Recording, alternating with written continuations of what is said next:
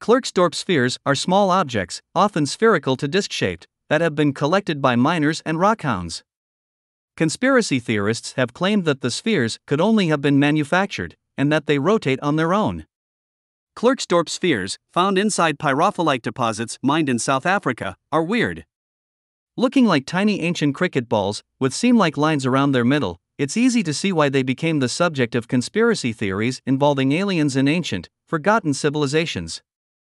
In articles in the 1980s, they were speculated to be made by a higher civilization, a pre flood civilization about which we know virtually nothing, while the same museum curator who said this claimed that the spheres rotated of their own accord while locked in a vibration free display case. Pseudoscientists claimed that the spheres could only be manufactured, despite being found in 3 billion year old rock, while even pseudo scientists believed them to be proof of aliens. The claims about the spheres caught the attention of geologist Bruce Cairncross in 2006, who wrote that he had been amused by an article that described them as mystery spheres, and by one program's choice to have a psychic examine the stones, declaring them to be the remains of an ancient spaceship. Cairncross offered up a rational explanation for the spheres, found in a geological formation known as the Dominion Group. The feature is made of conglomerate, with layers of volcanic lava that were deposited on top. After a lot of pressure and heat, the layers of volcanic rock became pyrophyllite, the casing in which the Klerksdorp spheres were found. The spheres are known as concretions, spherical, elliptical, or oblate objects made of different minerals to the host rock, and are fairly common, with thousands having been found around the world. They are often found in fine grained rocks, like pyrophyllite, as it allows for the movement of water.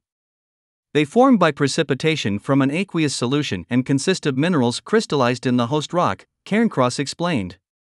The spheres are spherical, or slightly off spherical, as they form around a tiny grain of mineral in a solution containing iron, calcium, and other elements.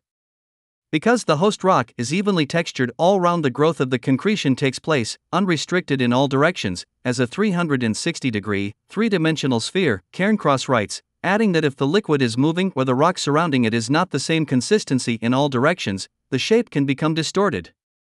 The lines across the spheres are caused by imprints from the host rock, which was built up in layers over a long, long time, leaving the layered effect.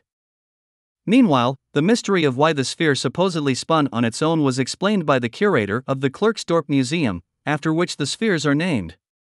Some years ago, I put the ball back to its original position on a glass shelf, during a journalist's visit and he tried to make a sensation of it, Mr. R. Marx explained. It is quite natural that it will rotate a bit as it is round, and we have many earth tremors due to gold mining activities.